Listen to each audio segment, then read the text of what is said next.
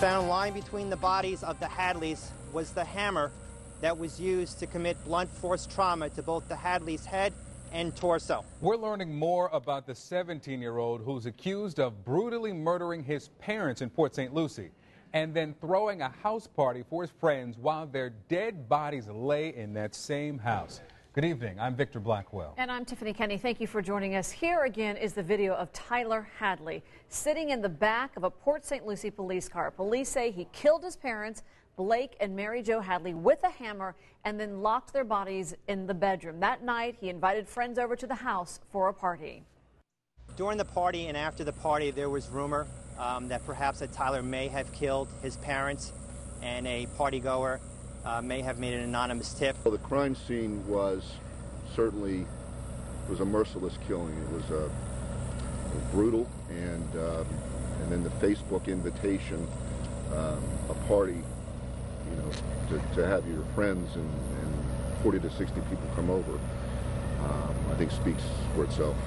Detectives say there is no indication that partygoer, partygoers knew that the parents' bodies were dead in the house. Tyler has a 23 year old brother who lives out of state. And we're hearing from two people who know this family. One is a teen who was invited to that party. Aaron Guy is live outside the home on Grandeur Avenue tonight. Aaron? Hi there, you can see behind me crime scene tape still up tonight as investigators are still working to find out exactly what happened inside this home. Now, we did talk to one of Tyler's friends says he was invited to the party. I also spent some time with a mother who said that her son is actually one of Tyler's very best friends. This Facebook status is pretty typical for teenagers. Mom and dad won't be home, so let's party. The invite circulated around, but police say the friends who attended that unsupervised gathering at Tyler Hadley's didn't know they were actually partying inside a crime scene.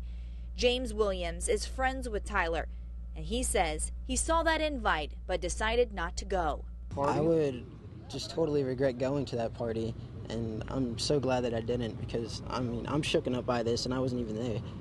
Williams says Tyler is a fun guy, funny in fact surprised, man, because from what I've heard about Tyler, he's like a really cool guy, and from what I've seen, he's a really cool guy. And the Port St. Lucie police detectives say after the party, rumors were swirling about Tyler killing his parents, which is why they went on a welfare check.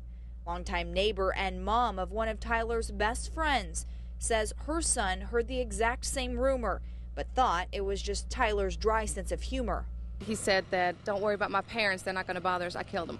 Ilona didn't want to show her face or put her full name on camera, but says she's in shock.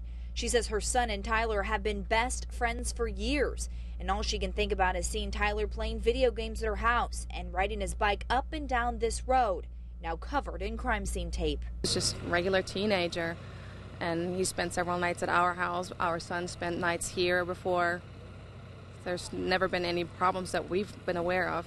Ilona says while Tyler always respectfully called her Mrs. Ilona, she did disapprove of some of Tyler's behavior, but nothing as extreme as a murder charge. Now, Tyler is expected to face a judge for the first time sometime tomorrow. Live in Port St. Lucie, Aaron Guy, WPBF 25 News.